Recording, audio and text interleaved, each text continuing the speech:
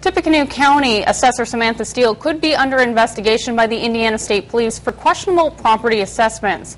Some properties assessed value increased by hundreds of thousands of dollars in Tippecanoe County, while others decreased by the same amount. Steele says the previous assessor placed incorrect values on the properties in question. She maintains her assessments are correct. Tippecanoe County Commissioner David Byers says Steele didn't list any reasons for changing the property values. He says that's suspicious. Anytime there's a change, there should be some reason as to why it changed. Grade change, um, structure change, something changed.